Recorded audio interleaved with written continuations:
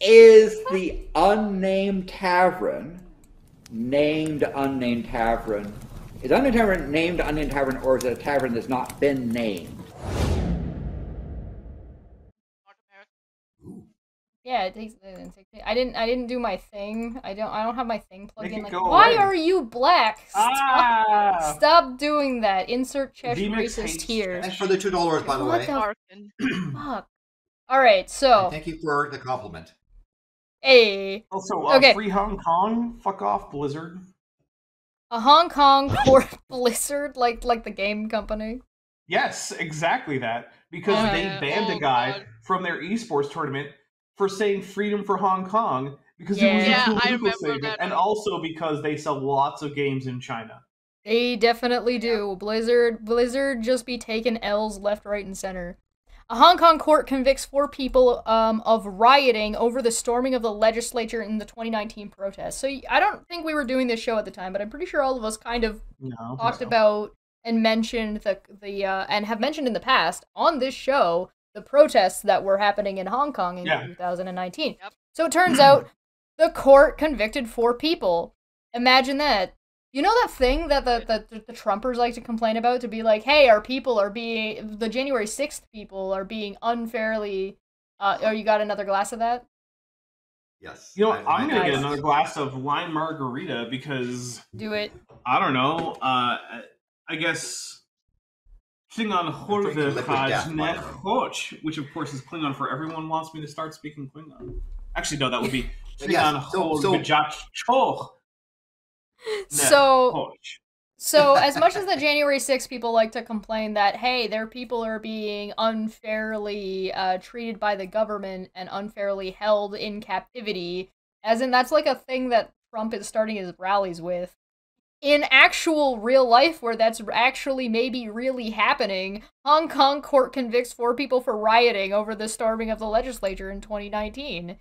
Hey, if you want a real conspiracy, go find one. They're all over the place. A Hong Kong court convicted four people Thursday for rioting over the storming of the city's legislative, count, uh, legislative council building at the height of the anti-government protests more than four years ago. The break-in on July 1st in 2019, the 22nd anniversary, don't give a shit. Hundreds of protesters swarmed uh, into the legislature that night, defacing pictures and smashing furniture. Some spray painted slogans in the chamber and painted their over the territory's emblem on a wall before vacating the site as riot police cleared uh, surrounding streets with tear gas and then moved inside. The legislature eventually spent about 36 million Hong Kong dollars or 4.6 million dollars American on repairing the damages. Oh no. People over property, obligatory insert here. Uh, six defendants included Gregory Wong. The guy's name is Gregory? Are you serious? Hong Kong has a long history of having been owned by the British, so there's a lot of weird British stuff going on. To there. be fair, I did skip over the British colonies' return to China. It was one of the, I did skip Ah, over interesting. when I, look when I was there, it was right right before the switchover, as far as I remember. No, uh, no, it was right after. But there was like Victoria Street, and like lots of the street names had like were named after like famous British people, and it was weird. And like you go to the uh, city hall, and it looked like something you would find in Great Britain, except at the top of it was a really good dim sum place where I ate way too much cuttlefish tentacles because they were absolutely delicious. but oh um, my god. Hmm. no, I did so many cuttlefish tentacles. Every time the cart came by and there were cuttlefish tentacles, I was like, yes, all of them, right here, right now. Are they Put so the I assume that different tentacles taste differently. And I've read a lot of like, you know, you know what I'm talking about. And so like do they do, do each tentacles taste differently because I feel like that should be a niche thing that I start working on as soon as Look, this stream is over and start I- and make an entire like written out story with pictures about somebody b- tasting different tentacles and deciding on which one's the best. Uh, yes. maybe I'm gonna Funimation go will ahead and say that. Uh, yeah, sure. Each tentacle definitely tasted differently, and you should. And I can pull on your- that. Can I pull off off of your expertise in tentacle tasting? Uh, sure. Yeah, go for it. Um, That's I to be fair though, project. cuttlefish are like very small, and so when I was eating the cuttlefish tentacles, it was a ring of like all the tentacles from the entire cuttlefish all at once. and they were Mm. they Oh, were deep fried in this Mm. salty batter with like a marinade that they had been soaked in, and Stop. yeah. Sounds good. Okay, But on also Thursday there was like pork rinds and Parker. shumai. we would rather talk about food than politics. On Thursday, I- Judge there's something Li that's- Ching Ho, oh sorry, Li Chai Ho, Chi- Yeah, chi. found Chi. for Chi. Is that not what I said? Did I say Chai? You said chai. Li- You said chai, which is Li tea. Chi Ho. Found, I can barely speak English. Found four of the six defendants, including Gregory Wong, guilty of rioting. Um, Wong Ka Ho and Ma were acquitted of the rioting charge, but were convicted for unlawful entry into legislature. Li said in his written judgment that uh, there were there was directive to ask all people to leave. "Quote: I can't I can't see how the defense can distort the meaning of the word and exclude journalists from everyone." He said. He added that it was a wrong idea for Wong Ka Ho to think that reporters can stay there to document the developments. During the trial, Gregory Wong said he was at the scene to deliver charges, uh, sorry, chargers to a reporter, but the judge challenged his argument saying he had hugged a protester before leaving the chamber as an expression of support. That's This not is- that. Uh, Remember where I said that the, there's actual real conspiracies going on about people quote unquote rioting and people protesting against their governments, and we should probably not focus on this idiots of January 6th insurrectionists and should maybe focus on where this is really happening and where a government is actually trying to suppress its people? Sorry, go ahead, Landon, yes? Um, so as much as it's interesting about these four people with conviction, um, I think with the bigger picture going on here is what the Chinese Communist Party has done to to Hong Kong. Yes. Um, the last link I put in there, and this relates back to this conviction because part of how they're being convicted now, right? Um, if you Yep. look at that last link I put in our private chat, Hong Kong has passed a new national security bill that was passed unanimously by all the shills of the Chinese Communist Party, and it has fairly wide-ranging draconian things. Um, it, it, it, it jail people who damage public infrastructure, like these folks, um, as well as endanger national security for at least 20 years or life. Um, and, and, and so the so the so the 2019 protesters are being convicted under this new law, right? So one of the things that, that China likes to do is pass laws after the fact and apply it to people there. Um, Oh. and and oh wow. Yeah, that's a another thing as well is that the, the bill covers actually a wider range of offenses, including, for example, uh, bans on external interference or civilly hardened positions. You know, uh, for example, um, uh, that, that, that if they if they view that if you have a document, you're from Hong Kong, and you put it on on on the web, and it's deemed to be particularly sensitive, not even not even classified, um, you can be convicted in this law. Um, Uh, also understand that, that this this this Hong Kong law applies to you, right? It is it is not limited to the territory of Hong Kong. Um, the fact that we are having this discussion, Yeah. Is is certainly deemed to be um, offensive and, and, and against the the, the the interests of the Chinese Communist Party. If you if you transit in the Hong Kong airport, um, and you have been deemed to be somebody who has foul- run offense of this law, even if you're not a Chinese citizen, you can be arrested and detained. And people are being arrested and detained. So let's say you're flying from Mumbai, India to uh, Tokyo, and you'd have a stopover in Hong Kong. Not even not even exit the thing, but stopover and, and transit, right? Yeah, you're- I was about to ask that question. Facial identity. Use, Yep. They use facial identity and other things to determine who you are, and they then can arrest you if you've run afoul of this of this law. Remind um, me and being- I'm Go ahead. Remind me next time I'm planning to travel to India via Hong Kong. Um, I will not shave my beard f- like for three months before that travel. and, and so so so or just so travel to doing- Japan, maybe. I mean, the the the, the and understand that that that for example, you know, eh, you can be convicted of this law if if, for example, you have um, posted something which is considered to be um, antithetical to the Chinese Communist Party. Um, you can be. well, I'm you can be. We're fucked. Yes. And and it applies also to, to journalists as well as citizens. If you were to take a document, for example, somebody was arrested, supposedly, of taking a document and having, um, you know, they're talking about air air pollution in China. Now that's a publicly available thing, but it was deemed to be offensive to the Chinese Communist Party, and and the person could be subject to arrest. So so what you're selling again, me is reality is offensive to the Chinese Communist Party. well, Oh. and this is a this is a this is I mean, this is a big problem of, of of of there. I mean, in that culture, face is is is is very important. But I have to say that the Chinese Communist Party ha- is more than lost face; they have no face. Right? The fact that Chinese Communist Party is is Sorry. is is pushing the cult of President Xi, otherwise known as Emperor Winnie the Pooh. The fact that they have uh, get over that? done a lot of destruction to Chinese culture. The fact that they have taken their nine dash line and said, this big chunk of international waters is ours because someone said so. Um, the fact that they have decided that the, the sovereign nation of Taiwan is somehow theirs, to me is something that they've lost faith over entirely, right? Um, Hey guys, right you in Dapper to go- Dinosaur 2024, I will recognize Taiwan as a nation. Fuck China. Well, fuck the Chinese Yes. Communist Party.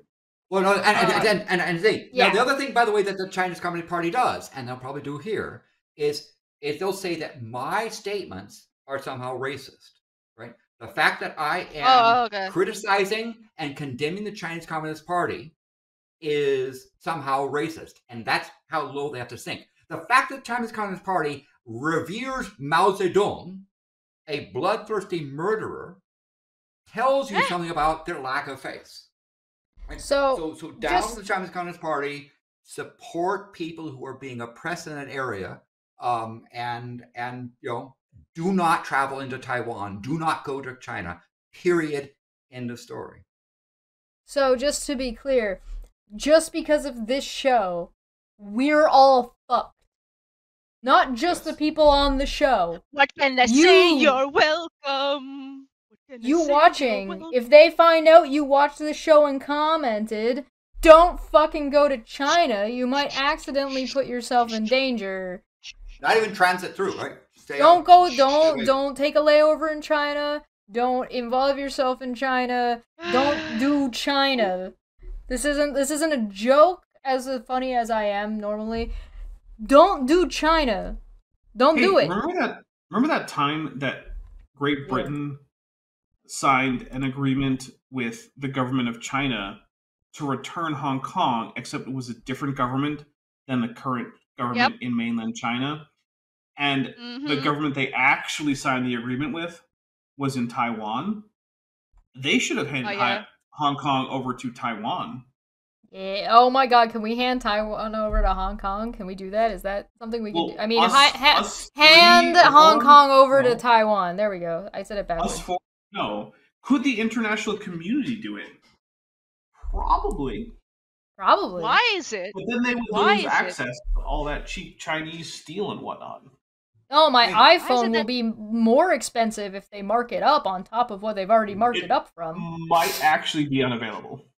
Oh no. So, Why so they have a broad. wait, wait, wait. this La- Ma- no, Landon, Manya. wait. Manya's gotta go. and Manya, then you're a little quiet. I don't know why. but Sorry, Landon. it.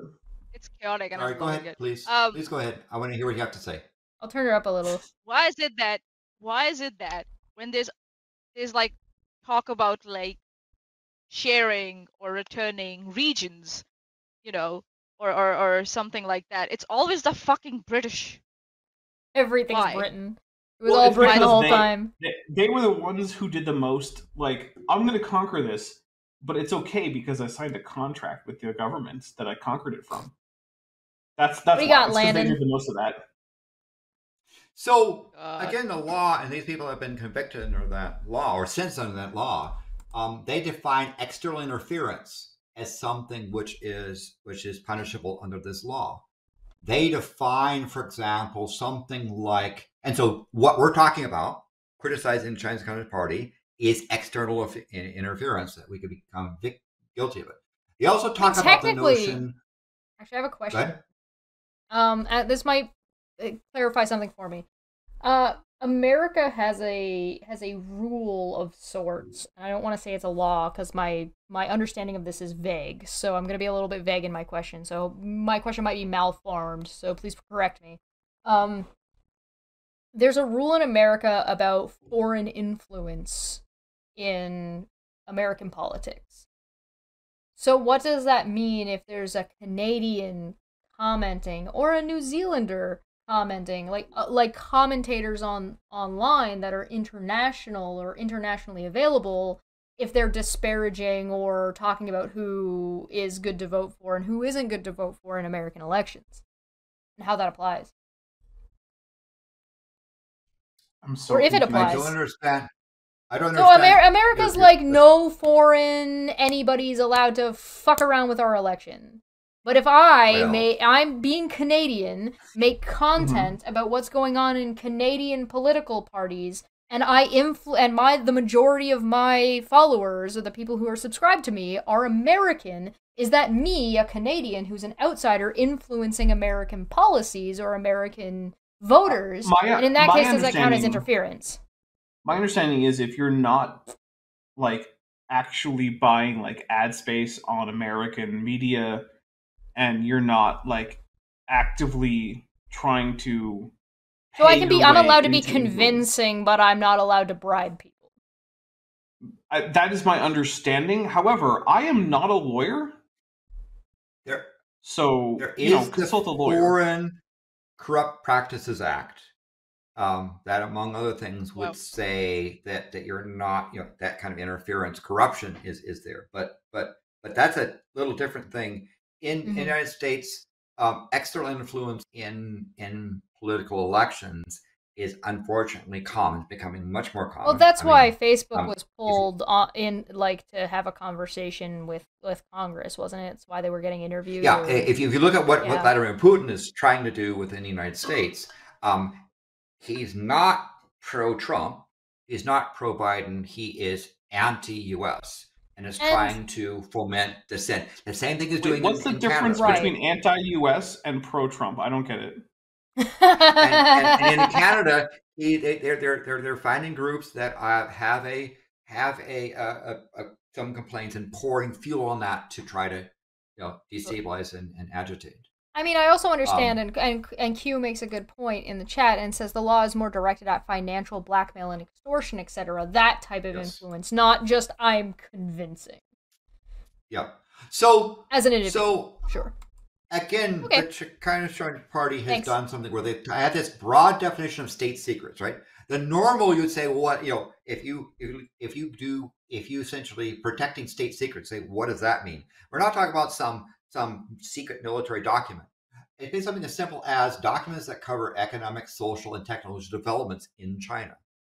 An example is if you were to publish documents describing the collapse of Evergrande, the real estate Ponzi scheme in China, and and and you publish data about that, that even though that data is public, you can be convicted of the broad definition of of state secrets. And it, it is it is really and, and it is a to me it's a mark of the lack of even face. It is a mark of shame in the Chinese Communist Party that they have to do this. And by the way, the Hong Kong legislature passed it unanimously and clapped and had a whole bunch of things there because they're now a bunch of Chinese Communist Party shills. So, So here's, here's since, what I'm uh, getting. Oh, sorry. Yeah, go ahead. You go ahead first, Okay, and then I'm gonna. Here's what I'm getting. Jump us over. Winnie the Pooh, Blood and Honey is literally a documentary about China. Wow. If you don't get that, ooh, I'm sorry. ooh.